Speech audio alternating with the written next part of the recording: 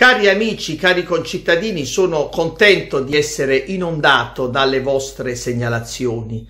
Eh, ne ricevo almeno un 20-25 al giorno. Cerco di eh, accontentare tutti, di dare spazio appunto eh, alle, ai vostri video, alle vostre foto che rappresentano le gravi eh, criticità, soprattutto inerenti alla invivibilità eh, urbana.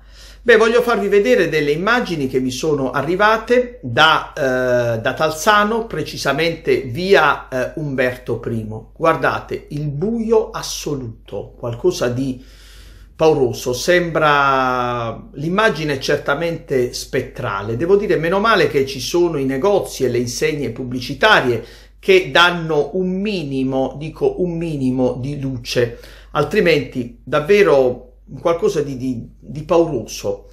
Beh, eh, soprattutto d'inverno, poi col, col, fatto che le giornate no, si accorciano, la, la, la, la, luce durante il giorno, il, le ore di luce appunto si eh, accorciano sensibilmente. Beh, penso ai rischi che corrono i pedoni attraversando queste strade, gli automobilisti, ma i rischi anche per, eh, per l'aumento eh, di episodi di eh, criminalità, perché ovviamente il buio rappresenta, come dire, il terreno fertile, tra virgolette, perché certi eventi, eh, anche lo scippo, magari episodi di microcriminalità, che però vengono appunto favoriti, la loro dinamica viene favorita dal buio.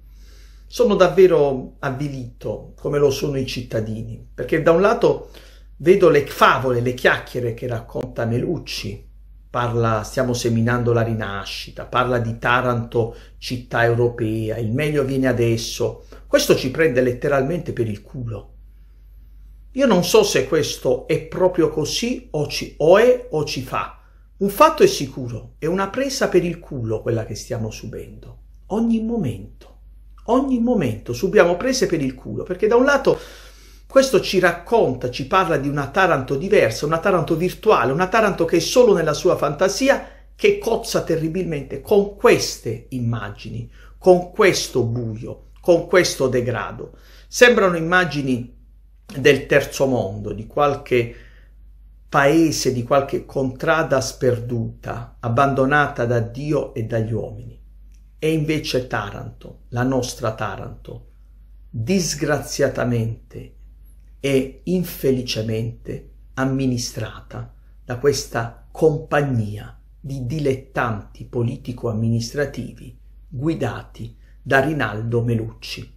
Il buio delle immagini che vi stiamo facendo vedere rappresenta davvero il buio, il nulla cosmico di questa amministrazione.